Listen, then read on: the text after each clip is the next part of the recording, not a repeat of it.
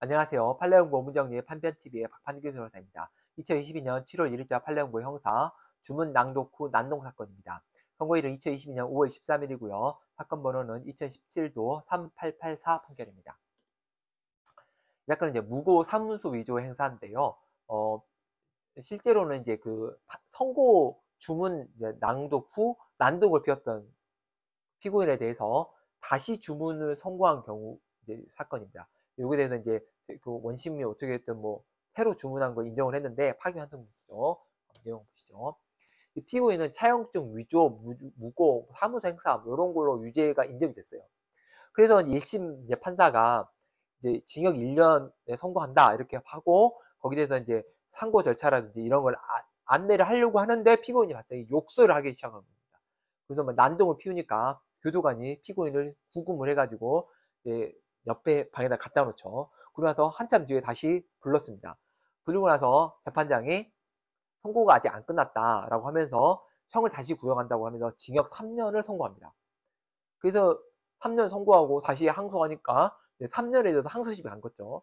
항소심에서 어떻게 판단하냐면 이게 이제 주문이 선고를 했지만 아직 선고 절차가 아직 안 끝났고 따라서 선고가 안 끝났기 때문에 어, 변경도 가능하다. 따라서 어, 징역 3년은 맞다. 하지만 3년이 너무 과하기 때문에 2년 정도로 어, 성을 낮춥니다. 2년에 대해서 이제 피고인이 다시 상고를 한 거죠. 네, 대법원은 뭐라고, 이제 문제는 결국 이럽니다. 주문을 낭독을 했는데 아직 나머지 절차를 설명하고 있는 와중에 이 와중에 형을 다시 변경할 수 있느냐. 이게 이제 문제가 되는 거죠. 대법원은 뭐라고 하냐면 2017도 사건이잖아요. 한 5년 동안 고민한 거죠. 그걸 어떻게 할 거냐. 대법원은 이렇게 판단합니다. 판결 선고는 하나의 절차다. 그러니까 일시적인 주문 낭독만 판결 선고가 아니라 절차가 전부가 판결 선고다. 그러면 절차는 뭐냐? 주문 낭독, 이유 고지, 상소 기간 고지, 관련 수고 고유 이게 다 하나의 절차다. 따라서 선고가 종료되기 전에 일단 낭독된 주문의 내용을 정정해서 다시 선고할 수 있다. 그러니까 주문이 잘못 읽었다면 다시 선고할 수 있다. 다만 변경하는 선고는 잘못 낭독하는 거나 설명하는 등의 특별한 사정이 있을 때만 허용된다. 그러니까 이게 하나의 절차 내에서 선고를 했는데 어 알고 보니까 내가 잘못 읽었어.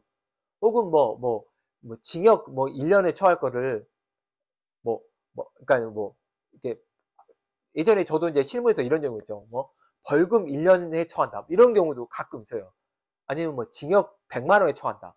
잘못 읽은 거죠. 이런 걸 수정할 수 있습니다. 수정할 수 있고 그 다음에 예를 들어서 뭐 그뭐 뭐 징역 뭐, 뭐 2년 2년에 선고한다. 그리고 나서 뭐 탁 하는데 나중에 보니까 이제 집행유예가 다 해, 설명을 다 해줬어요. 그랬더니 주문이 낭도 안 했어. 그러면 그거는 수정 가능하다. 왜냐면 이유에서는 집행유예 한다고 했는데 주문을 낭도 안 한 거니까 아 내가 아까 빼먹었다. 그래서 집행유예 선고할 수 있다. 이렇게 할 수 있는 거죠. 그래서 그런 것까지는 가능한데 즉 잘못 낭독했거나 설명하는데 특별한 사정이 있는 경우는 가능한데 이 사건에서는 난동을 부린 것을 감안해서 성을 변경했는데 이거는 판결에 관한 사항이 아니라는 겁니다. 사건에 관한 사항이 아니라 주문 낭독 당시의 사정, 그 낭독 사지의 사정을 난동 부린 건 아니기 때문에 이 변경할 수 있는 특별한 사정이 안 된다는 겁니다.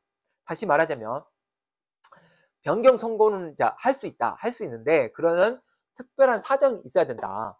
그런데 난동을 부린 거는 특별한 사정으로 볼 수 없다는 겁니다. 변경할 수 있는 특별한 사정. 그래서 그런 사정 없이 했기 때문에 위법하다. 따라서 다시 해라. 이렇게 되는 거죠. 이 사건은 이제 유사한 사례 찾기 굉장히 어려울 겁니다. 이런 경우 거의 없거든요. 없는데, 이래서 보통 이렇게 합니다. 어떻게 하냐면, 선고는 다 하고, 그 다음에 감치해서, 감치 20일, 30일에서 감치를 하게 됩니다. 그렇게는 가능한데, 그리고 그 다음에 항소심에서 거기에 관련해서 다시 형을 2년으로 올릴 수도 있거든요. 그렇게 하면 되는데, 이렇게 주문을 선고하고 나서 낭독한 다음에 변경하는 매우 이례적인데 음, 이 사건은 이제 그런 경우에 판결 선고가 어디까지가 된지에 대한 어떤 판단 요거는 나오기 어려운 사건, 판단인데 이 사건이 특별한 사건이 특이한 사건이어서 나온 거죠. 그래서 결국은 어, 주문 변경은 특별한 사정이 있어야만 되고 이 사건은 특별한 사정이 인정이 안 된다. 이런 거 네, 재미있는 사건이어서 한번 소개해봤습니다. 이상 마치겠습니다. 감사합니다.